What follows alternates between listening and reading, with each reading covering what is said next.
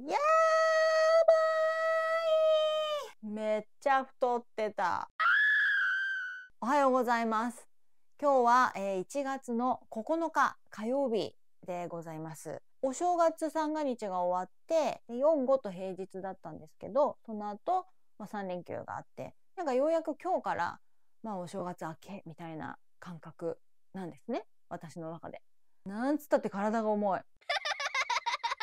のでマジで6億年ぶりぐらいに体重計に勇気を出して乗ってみたんです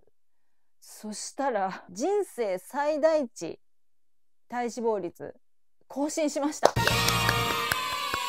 マジでやばいこんな体脂肪率初めてだよ。どうしよう。というわけでございましてもうやるやる詐欺はこれで終わりにしたい。ダイエット頑張りたいと思います。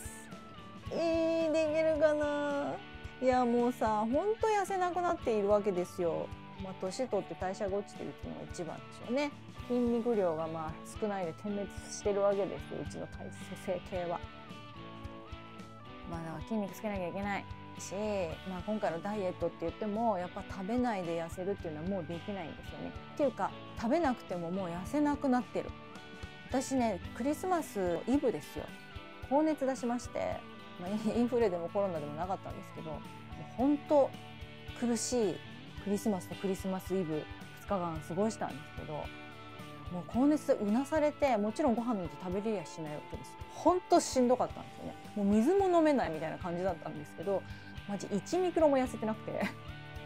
お腹へっこむぐらいしてくれたっていいじゃん。一切なくて。だからそういうそういうことですよ。若い時からなんかちょっとやっぱね仕事柄あ明日ちょっとお腹出る撮影だわとかあるとやっぱりご飯を抜く断食とかも苦じゃなくできる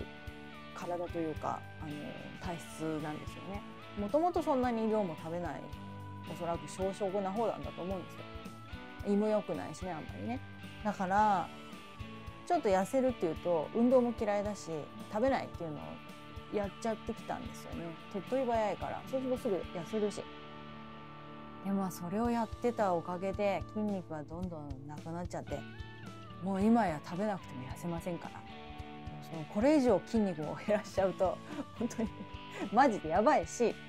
とりあえず食べないっていうダイエットはできないのでまあ、筋トレも嫌いなんだけど、まあ、ちょっと考えつつやりたいと思います。脂肪を減らさないと。体脂肪率これはまずいわ。体脂肪率が何パーかって言ってもいいんですけど言うとおそらくえその体脂肪率じゃ別にダイエットしなくていいじゃんっていう人が多分いらっしゃる数字なんですよね。微妙に。なんですけど私にとっては人生最大値なんですよね。あのあくまで自分基準これまでの、えーと、46年間のこの人生の中で最大なわけですからあのこれまでの自分の平均っていうのがあるんですよ。でこれまでの平均の体重だったり体脂肪率だったりっていうのから外れてるからやっぱり体は重いしお気に入りの服はもちろん着れないしテンションは下がるしえなんなら血液検査すると中性脂肪率とか中性脂肪値血液検査で出ちゃうとかそういうこととかもちょこちょこ起き始めてるんでまあ、その一般的なこのね今163センチですけどこの身長に対してその体重とかその体脂肪率って全然ダイエットしなくていいんじゃないって言われちゃう数字なんだけどそれは一般論であって私にはやっぱちょっと合わないわけですよその方程式が だからあくまで私基準でやらせていただきたいから人それぞれ個人個人でやっぱり違うと思うんですよ。ね、体脂肪率すごいたくさんあってもこれで健康なんだっていう人がいて自分の体型気に入ってればそれでいいしやっぱそれぞれだと思うので、ちょっと数字をだから公表するのは、まあ、痩せたら言ってもいいかな ただちょっとサイズ測ってみようかなと思って。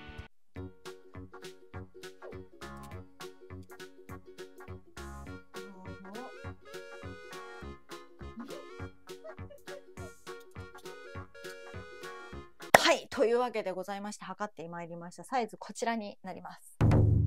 いやもうケツができるのは昔からなんですよ私。ただねウエストがね ウエスト私ね若い時56センチだったのずっと。ちょっと食べ過ぎても58センチとかでもう60センチを超えることとかなかったんですございます。もうそれだけが自慢だったのに。はあまあ仕方ない。言っても仕方ないので頑張りましょう。えっ、と期間は決めません。とにかく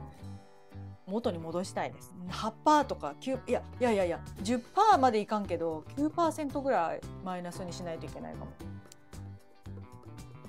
ちょっと食べないはしません。ちょどうやっていくかは探り探りやっていきたいと思いますが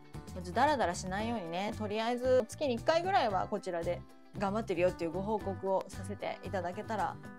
嬉しいです。頑張りたいと思います。ぜひ応援してください。もしね自分もダイエット頑張ろうかなみたいな方がいらっしゃったらぜひ一緒に